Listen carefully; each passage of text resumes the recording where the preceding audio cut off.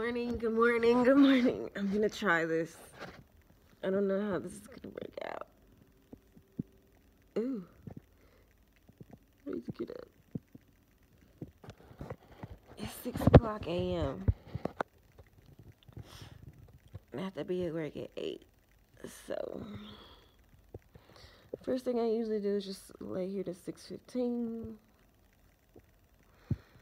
listening to music. Like I have to have music before I get up. Like I just have to. Like I just I can't can't function without it. So I'm just gonna play some tunes, get up, take a quick shower, brush my teeth and wash my face, and I will be back. Oh yeah, and get dressed, and then I'll be back and I should be done with that by 6:45 ish.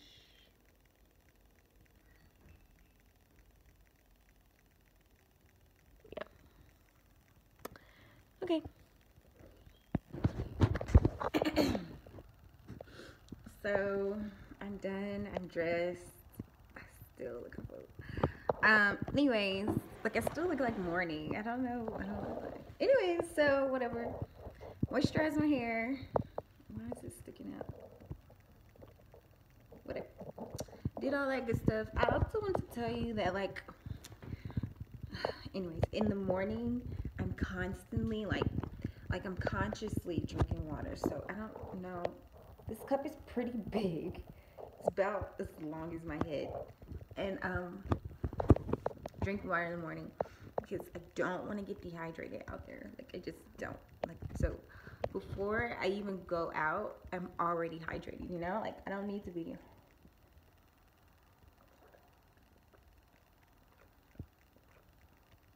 I don't need to be you know.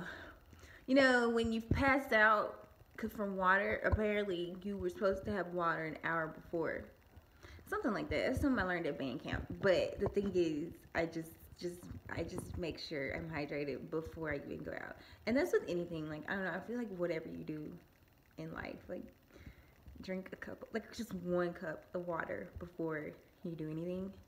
Like before you. Okay, so this is my breakfast.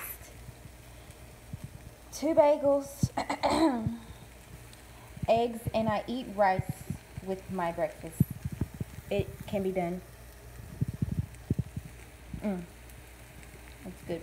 Just that because we're gonna do a lot of hiking today. Also, yes, like I have to think about where we're going. So like different sites require like different levels of fitness, I guess. So like some sites are super easy to get to. Some sites we literally hiking up the side of a mountain and that's not me like i just first off like elevations of 8,000 feet, right? 7,000 to 8,000, sometimes 9,000.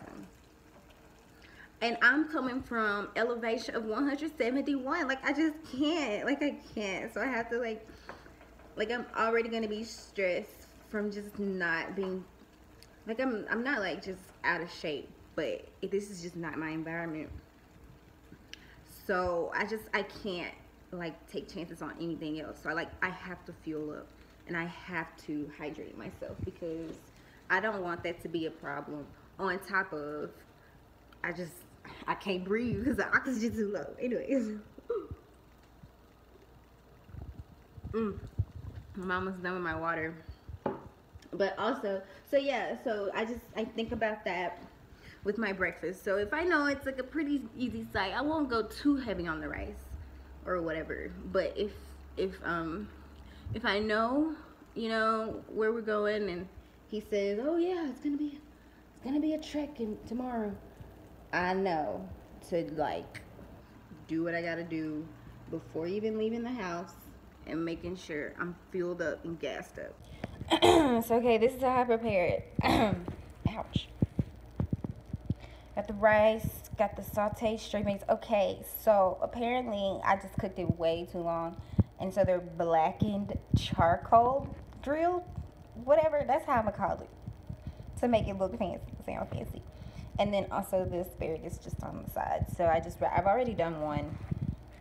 Just wrap it up like a little wrap. It's super portable. The way I said portable. Super portable. And um, you don't have to worry about dishes like that. And um, yeah, so I'm gonna quickly wrap this up. Put all my dishes. I can say that. Put all my dishes up. Get my book bag together. And yeah, head on out. 7.45 now. Hopefully I can make it on time.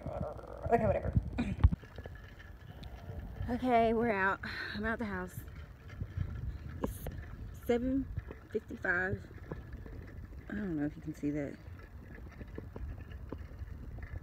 My watch is 10 minutes fast. So I walk to work because literally it's like that way, turn that way, turn that way. Like it's like a block over.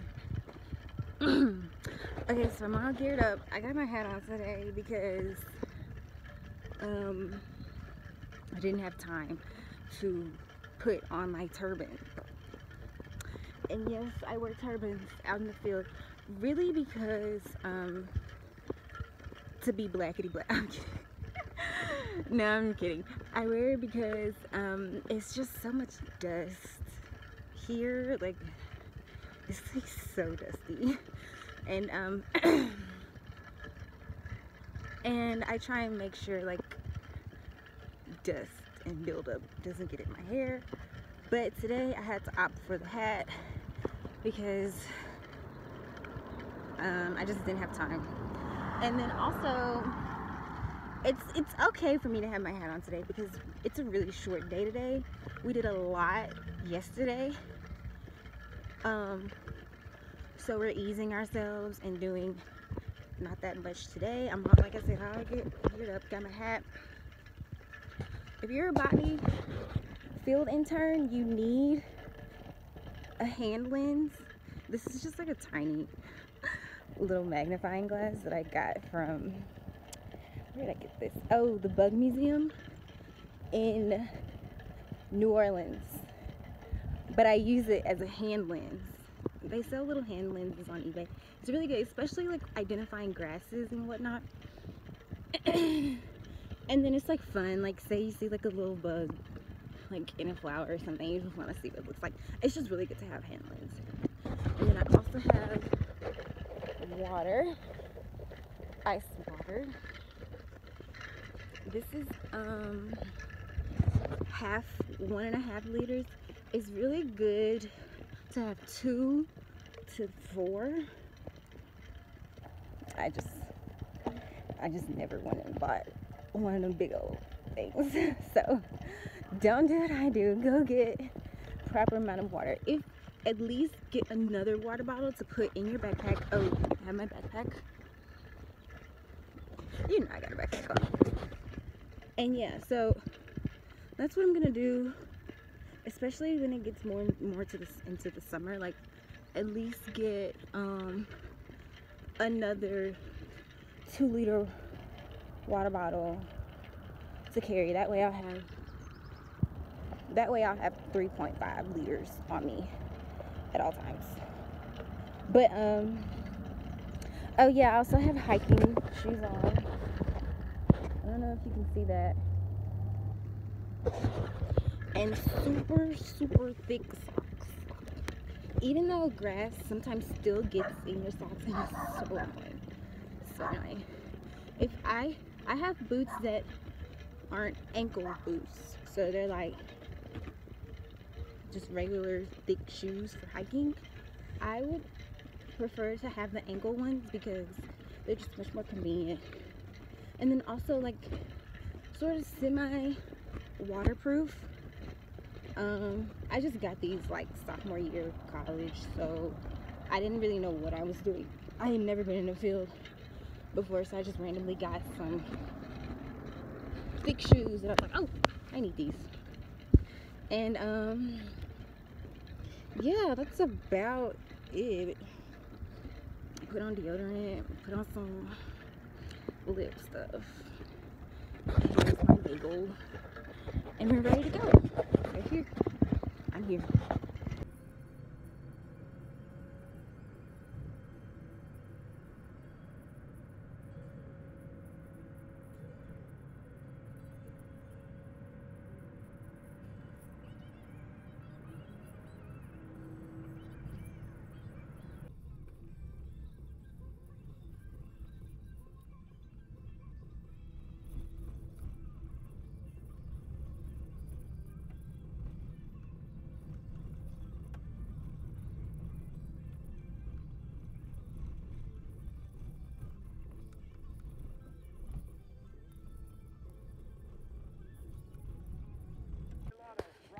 Okay, so here we are at our first site, and um, just giving you a little a little view of what it looks like. Um, when we first get there, we're setting up our our meter by meter plots, and um, yeah, a lot of paperwork to be done really quickly. This is actually the sage that um, habitat that we're working with. This isn't the normal sage that you use to like, you know, detox your home or whatnot, but um, it still smells nice. and Native Americans actually did use it for smudging. Um, sometimes I just take it, yeah. sometimes I just take it and sniff it. Like I don't know why.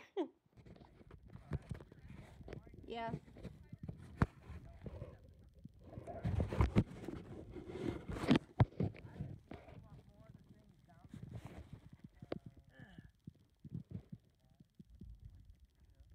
Is this what is this one? Uh, uh, yeah, Camelina microcarpa. He's an introduced from the old world weedy thing. CA, yeah, put it over there. MI, and that's good enough. Yep. Okay. See the round pods? Yeah. Okay. It kind of looks like and that's a mustard with short pods. It kind of looks like a alyssum except grown That's right, up. that's right. Same family, but the pods are round instead of flat. right. And lupine. Um,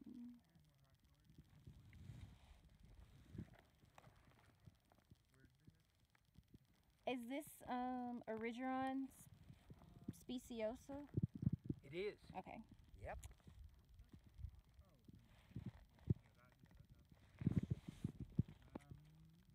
Let those sperm move around.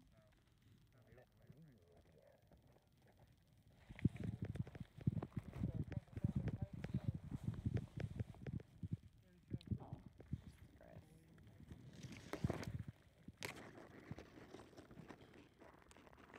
Erigeron. No, Eriogonum heracleoides. Oh, wait,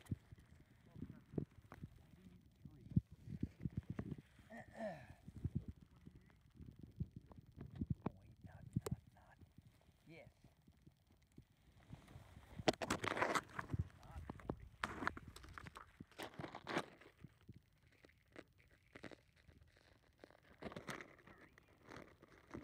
Sorry, guys. I'm gonna pick you up.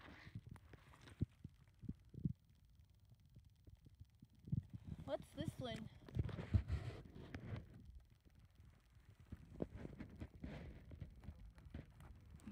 Oh.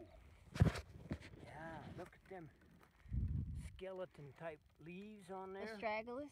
Yeah, Uh huh. convallarius. Really? It looks Yeah. different. The, the bottom looks different than the top, Yeah. but there's this is more convallarius like here. This one's not quite, but that's a good ASCO5. Okay. Okie dokie. I think we're good. And uh, oh, there's a lithospermum ruderale Yep. in there. You got him. Mm-hmm. Okay. Uh, I don't see a whole lot more. This is a shrub. I think. Yeah. It's got a woody base, so it's a shrub.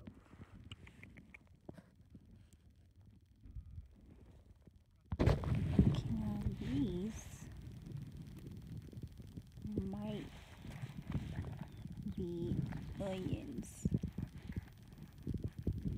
pick it up.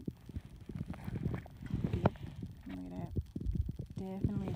Hey Cheryl, which onion?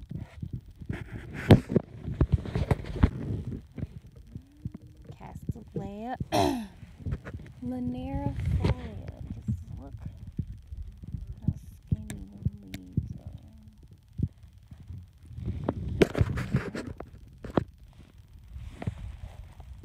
Look at it. okay. Meet Mr. Aridus.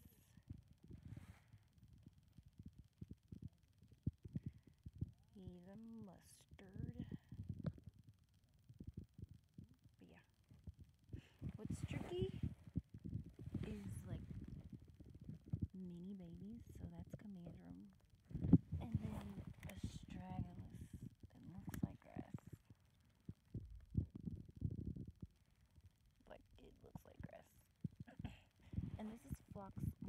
Multiflora. Sorry, I said longifloria, but it's multiflora.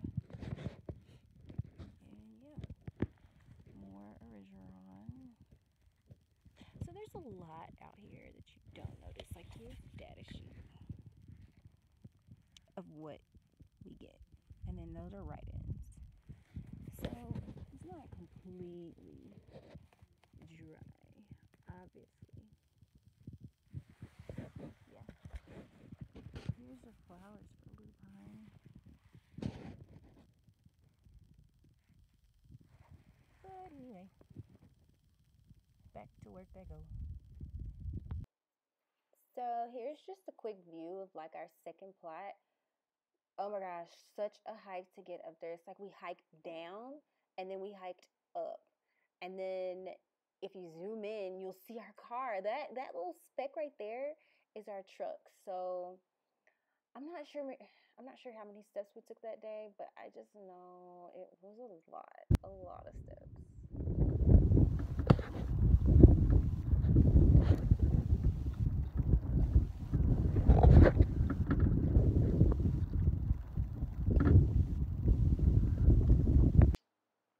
Okay, so we're headed back um, to town now, and of course, you know, there's always something weird going on, you know. So we ran into, I don't know, I guess it was a family moving their livestock to a different site, I guess. I don't know, but when I tell you, it was so weird. It was like so weird, and then just to see like once again a whole family participating in this i don't know i don't know Okay. I'm back. and um usually if you want to know the truth truth, usually I go to sleep. like I take a like four hour nap. I wake up at 9 or 10 p.m. And then, uh, yeah. Excuse me. It, it, I need a nap. You see, I'm yawning. Anyways, um, yeah, so yeah. So,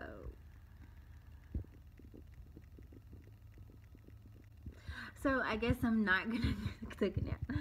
I'm gonna go to Starbucks and I'm going to um, do some like administrative work. Like I need to send some emails. I need to reply to some emails and I need to do some research. Like, is my lock dirty? What is that? See, this is what I be talking about. This, this what I be talking about. This is why I gotta wear a turban.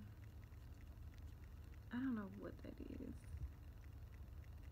I'm gonna have to wash my hair soon. But um, what's up? Oh, some emails. Oh yeah, I some emails. Oh yeah, find out what I'm gonna do after this. You know, like some ideas running, the ball rolling, work on some stuff, you know, computer stuff. Boring. That's why I like field work. Field work is like the best thing to do because it's like you're in it. I don't know how to describe it. It's like a lot of people study stuff, right? Like you study chemistry or you study psychology, but everything gets way more fun and like way better when you're actually doing what you're studying. Not really doing, but like monitoring or like touching and feeling and seeing. This is annoying. And seeing what you're studying. So, yeah, that's why field work is amazing. And that's why I hope my future entails a lot of field work because I just can't sit inside all day. Even though today was horrible, like I just I can't. once again, you took a Mississippi girl and put her in the mountains. Like, oh, oh my gosh, I cannot deal with the hiking. Like our forest, Longleaf Pine Forest, down in Hattiesburg, and you know the Pine Belt area, flat. it's like flat, like you just walk. You know what I'm trying to say? Like you don't. I mean, they're like hills, of course, but like not like deep, steep with gradients of like 35. Um, you know what I'm trying to say? So yeah, yeah. And then the elevation once again. But it's like once again, it's all worth it. Like immersing yourself into a whole new environment, like literally an entire new environment, like really shows you who you really are, who what you're capable of, and like what you can overcome. And yeah, so that's how I'm treating this summer. Kind of like a I don't know. I don't know how. I don't know. I kind of just described it. I don't know. But yeah, so I'm gonna go to I'm gonna go to Starbucks and get a tea, and then kind of mooch off their vibe, and um, you know, get work done. But yeah, I hope you enjoyed this video.